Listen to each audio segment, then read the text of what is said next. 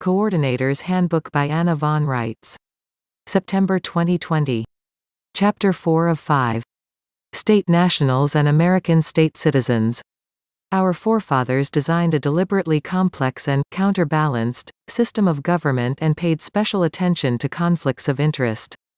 This system of checks and balances was followed at every level and step, from the foundations of our counties to our states to our states of states, and finally, to each segment of the federal government, too.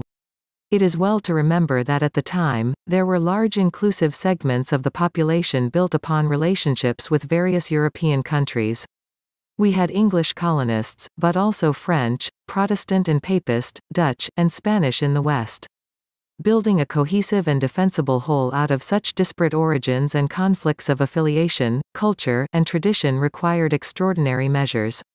In the end, it was accomplished via the skillful use and just as skillful limitation of jurisdictional authority. Our physically defined counties control the national jurisdiction of the soil, and, taken together, define the embodiment of the combined soil jurisdiction owed to our state of the Union. Notice the small s. When we are talking about soil jurisdiction, we are talking about the state as a nation-state. Alabama is a nation-state as well as a state of the Union.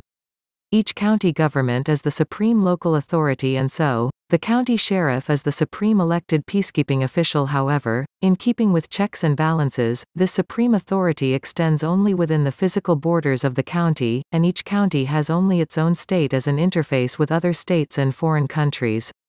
It is cut off from the rest of the world. This becomes important when you realize that if it were otherwise, each county could split off and ally itself with any foreign government it chose, and our country would quickly become a hodgepodge of over 3,000 disparate crazy quilt pieces, all functioning under different laws and warring with each other and using different forms of currency. Without this segregation of the soil jurisdiction, the Union would have dissolved even as it was being born, each such county and the nation-state that the combined counties build, is populated by people, known as American state nationals. Note the small p on people. We have already seen that Americans born within the borders of a state acquire their nationality at birth, and so we become Texans, New Yorkers, Minnesotans, and so on. We remain American state nationals until the age of 21, when we can choose to act as state citizens. The word, citizen, always implies an obligation to serve some level or form of government, and it is no exception here. When we are old enough to accept the responsibility and understand the obligations involved, we become eligible to act as citizens of our State of the Union. What do we mean by State of the Union? Notice the capital S. The state is different and set apart from the nation-state formed by the combined soil jurisdictions of the counties. The state level of government exists in the international jurisdiction of the land and sea. It is inhabited by persons, either lawful persons or legal persons. State citizens voluntarily occupy an office of personhood in order to serve the interests of the international jurisdiction of their state of the Union. Their lawful persons are known as people, notice the capital, P. The land jurisdiction begins 6 inches under the surface of the soil and extends to the center of the earth by definition. Land is an international resource, as it and the resources of the subsoil, mineral deposits and subsurface water, cannot observe the strict and known boundaries of the soil surface. Each state's land jurisdiction is forever connected to its soil, but the nation-state of Alabama and the state known as Alabama occupy two distinct and different jurisdictions, one national, one international in nature. So, Alabamans acting as American state nationals are people who populate the soil jurisdiction of Alabama, but when they choose to act in the capacity of state citizens, they operate as people, that is, lawful persons, and control the international land and sea jurisdiction of Alabama. International jurisdiction is the jurisdiction in which Alabama as a whole acts as a physically defined state of the Union and interacts with the other states and with other countries, for example, Denmark. Our forefathers, always anxious to avoid conflicts of interest which might undermine our security, defined state citizens to be people having no other allegiance to or affiliation with any foreign state or nation. Thus, you cannot serve your state as a state citizen, and decide international questions for your State of the Union, if you have any conflicts of interest. Such conflicts of interest may include being licensed by a foreign government, receiving titles and offices from foreign governments, being employed by foreign governments, receiving unearned welfare benefits from foreign governments or other substantial gifts or emoluments from foreign governments.